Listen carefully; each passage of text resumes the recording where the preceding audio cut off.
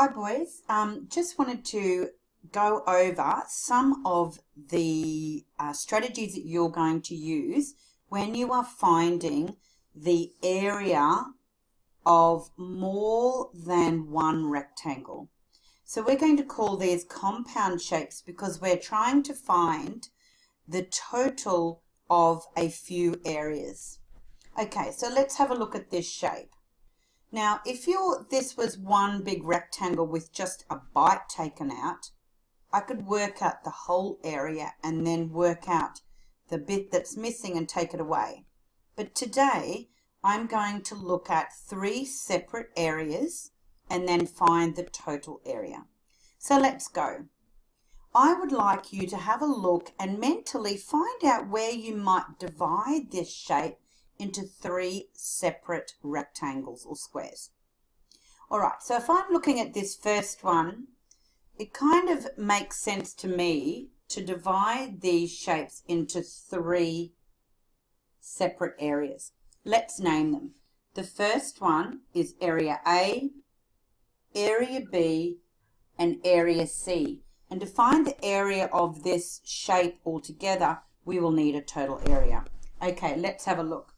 So the total area is going to be area A plus area B plus area C. But we need to know each area in turn.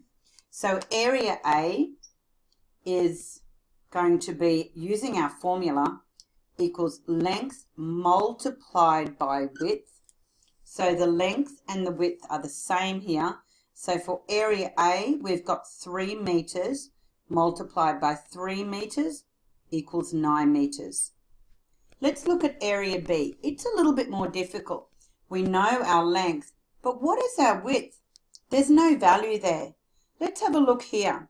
We can work out that if it's 1 metre there, this area here, if it was 1 metre there, the rest would be 2 because it is parallel to this 3 meters. So let's write that in there.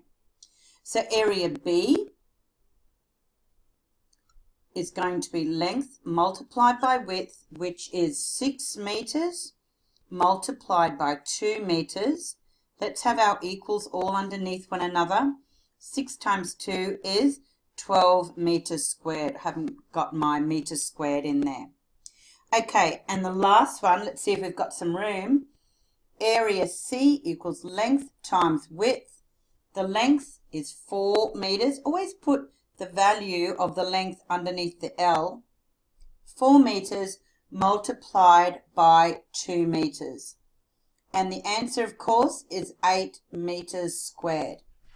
So, like we said earlier, the total area is area A plus B plus C. So we're going to say total area is going to be A, I'm going to put it underneath, 9 meters squared plus B plus 12 meters squared plus C, which is 8 meters squared, equals total area I can see two numbers that go really well together to make 20, 29 meters squared. And therefore, the answer is um, the total area of this compound shape is 29 meters squared. Have a go now in your booklet answering and finding those two or three separate um, areas and then adding them together. Bye.